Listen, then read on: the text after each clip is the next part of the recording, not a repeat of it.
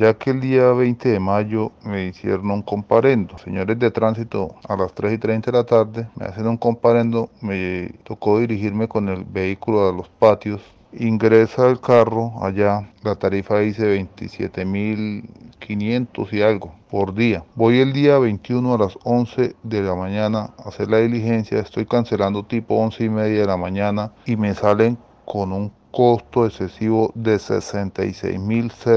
66.064 pesos. Me parece un abuso de los señores de tránsito porque la verdad que yo sepa, el día trae 24 horas, no trae ni 10, ni 8, ni 12, ni nada, trae 24 horas y me están cobrando dos días y con un exceso de, de, valor que no, no es, la verdad me parece un abuso. Y en plena pandemia, donde las oficinas no las están trabajando normalmente, están trabajando medio tiempo nomás, hasta no y no, no se puede hacer la diligencia en un día en un día completo. Y cobran muy caro y están cobrando lo que no es porque me están cobrando dos días y con un sobrecosto que yo no entiendo el motivo